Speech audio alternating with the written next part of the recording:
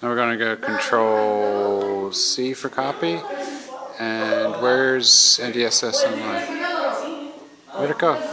Oh. So that goes in here. Control V, right? And then, so those those links should work. And then you have to answer these. Okay, so the name of the project is Commenting on Youth Voices. Where you can find the work is there already. You've answered that.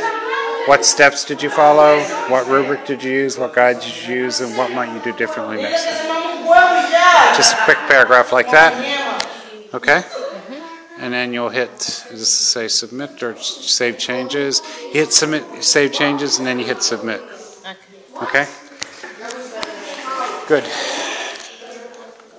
Hi, Vante. What are you working on? I'm working on my second comment.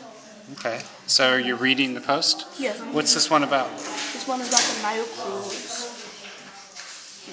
And I really thought this was a good idea because I was wondering how the Nile River went.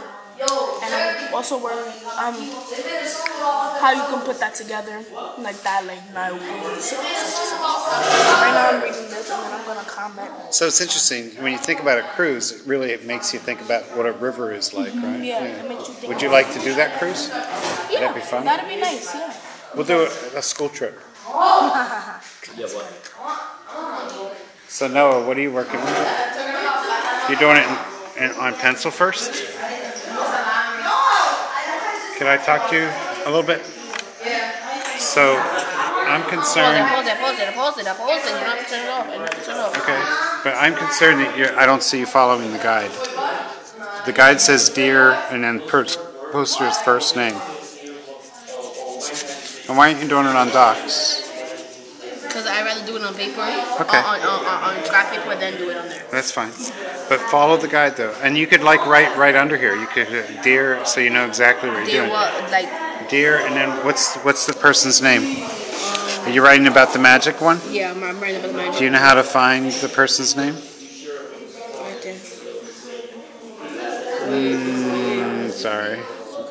Go to go to youthvoices.net slash ancient Egypt one. Scroll down on the left side and you'll find the name. I'll come back and check with you on it. So what are you working on? Hi Glenn.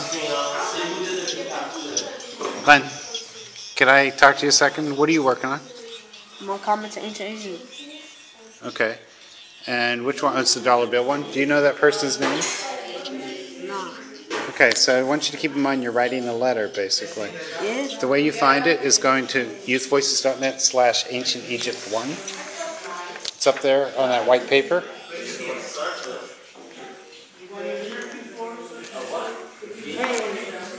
So you're writing to Arvlas, but I happen to know that his name is actually Raul, R A U L. R A U L. Now, here's, here's what I want you to understand. The guide, John? Huh? The guide is set up, right, so that it gives you very specific things to do. So under Dear Raul, there, okay, you want to put a space. No, Stephanie. Dear Raul, but notice there's a capital D Okay. and there should be a capital R. And then a colon, and then put a line in and start with I am. Okay, keep working.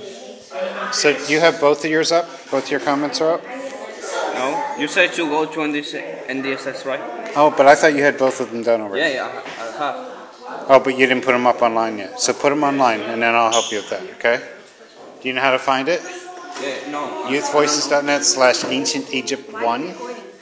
Because we want to start recording some of the positive things that are going on in the school. Why? Huh? Why? Because people are interested. Like, how do you work with computers that way and get kids to actually do work? So, what have you been working on, Cindy? Uh, I'm finishing my my response to to a poster. And hers is about geometry, right? Yes. But what's it have to do with ancient Egypt? Geometry long ago had to do with ancient Egypt. Uh. Yeah, how? Did she talk about Egypt in there? Mm, yes. Where? Hold on. In the...